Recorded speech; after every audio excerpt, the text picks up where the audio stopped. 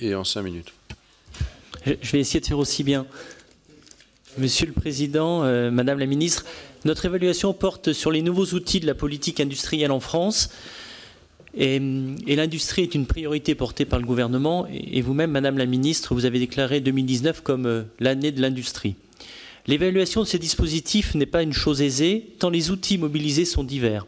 Le gouvernement mène une politique industrielle cohérente, mais malheureusement peu lisible. Elle gagnerait à mieux associer les structures existantes en plus des nouvelles initiatives. La politique industrielle repose aujourd'hui sur quatre axes prioritaires pour faire émerger l'industrie du futur. Les compétences, le numérique, les territoires et l'innovation. Sur les compétences, l'investissement dans les compétences est essentiel alors que plus de la moitié des PME disent aujourd'hui éprouver des difficultés à recruter des profils qualifiés. Le plan d'investissement dans les compétences doit répondre aux besoins de main-d'œuvre sur les métiers en tension et notamment euh, dans l'industrie.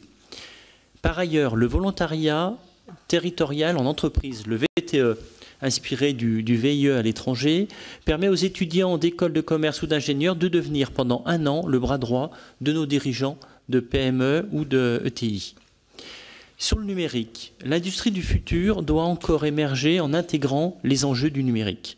Nous constatons que la France est en retard par rapport à ses voisins en matière de numérisation de l'industrie.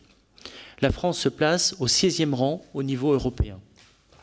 Le plan de transformation de l'industrie par le numérique, présenté par le Premier ministre en septembre 2018, permettra d'accompagner les entreprises industrielles vers la numérisation. La plateforme unique France Num doit ainsi accompagner les TPE et les PME dans leur transformation numérique. C'est aussi tout l'enjeu des plateformes d'accélération du futur qui feront l'objet d'une prochaine euh, publication par notre collègue Anne-Laure Catelot. Sur les territoires d'industrie. Afin de renforcer l'implantation de l'industrie sur les territoires, l'initiative Territoire d'industrie a été lancée.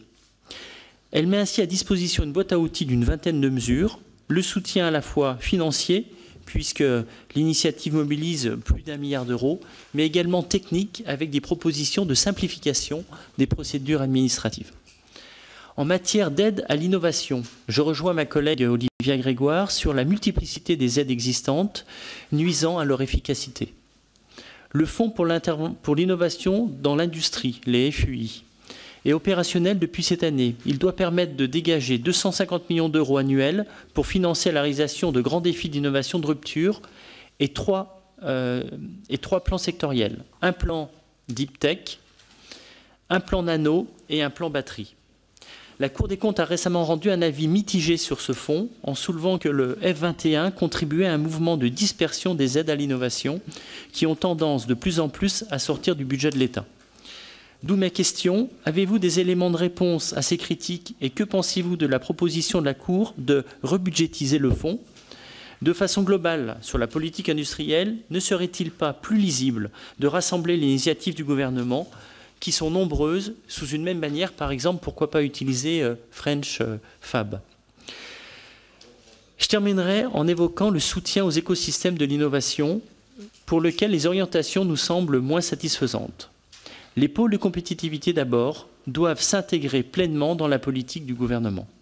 Le Premier ministre a lancé la phase 4 de labellisation, recentrée sur les pôles les plus efficaces et capables de porter des projets au niveau européen. Le cahier des charges acte d'ailleurs une réforme dans le mode de financement des pôles. Les dotations de fonctionnement dépendront désormais des performances et nous saluons vraiment avec ma collègue cette initiative qui va vers plus de rationalisation. Malgré cette priorité, nous avons eu connaissance de problèmes concernant le financement des projets de ces pôles par le Fonds unique interministériel, le FUI.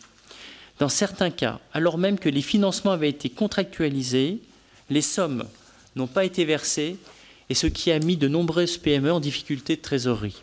Une solution aurait été trouvée qui mobilise apparemment les fonds du PIA prévus pour financer les projets structurants des pôles, les PSPC en 2020. Pouvez-vous nous, confirmer qu'il s'agit bien de la solution retenue? Et si tel est le cas, comment seront financés du coup les projets de pôle dans les prochaines années? Par ailleurs, une partie du financement de l'innovation des pôles est désormais portée par une enveloppe PSP région. Il semblerait néanmoins que le fonds n'ait pas été mis en place à ce jour, alors même que la date prévue pour les appels à projets était fin mai 2019. Avez-vous des précisions sur le sujet? À quelle date sera créé le PSP Région? Les appels à projets pour, pour l'année 2019 auront-ils lieu ou l'année 2019 sera euh, une année blanche? Par ailleurs, j'appelle votre attention sur l'importance des centres techniques industriels, les CTI, dans notre écosystème d'innovation industrielle. Leur financement est assuré soit par une dotation budgétaire, soit de plus en plus par une taxe, fiscale affectée. Nous avions appelé l'attention sur la réforme de leur financement l'année dernière, menée sans réflexion stratégique. Aussi, quelle place envisagez-vous pour les CTI dans le futur écosystème industriel? Quelle évolution leur financement euh, envisagez-vous? Et enfin, une baisse du plafond et ou du taux de la taxe affectée est-il encore envisagé en 2020 Une contribution volontaire, la, fameuse CVO, visant à remplacer cette taxe affectée, est-elle encore d'actualité ou a-t-elle été largement abandonnée? Merci.